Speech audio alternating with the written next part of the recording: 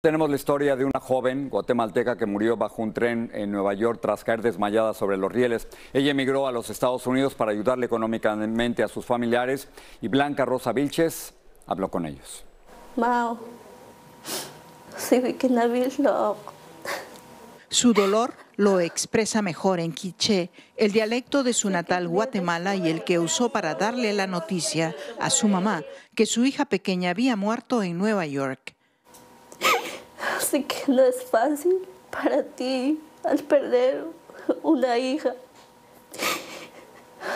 Sé que una vez me dijiste, yo no sé qué voy a hacer si uno de ustedes le pasara algo. Su hermana menor, de solo 17 años, murió al caer desde la plataforma de una estación del tren cuando se dirigía a la panadería en donde trabajaba, un video que ha circulado en redes sociales. No entiendo dónde sacaron ese video, ¿no?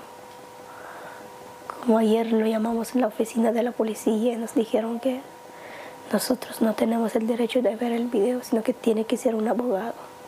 Según la investigación preliminar, se trató de un desmayo, lo que ocasionó la caída. Por su parte, la policía dice que lo que ocurrió con Jessica en esta estación de tren solamente se conocerá con la versión oficial del médico forense. Le empujaron a un empujón o es porque se desmayó, pues yo lamentablemente no puedo acusar a nadie una hija que emigró para poder ayudarlos económicamente desde Estados Unidos. Quiero ver su cuerpo aquí en Guatemala. No quiero yo pues que allá se va a quedar. No, no, ya no llores.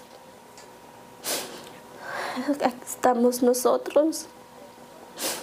Sé que la Jessica ya no va a regresar.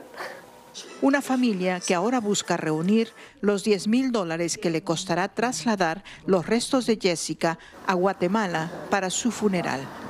En Nueva York, Blanca Rosa Vilches, Univisión.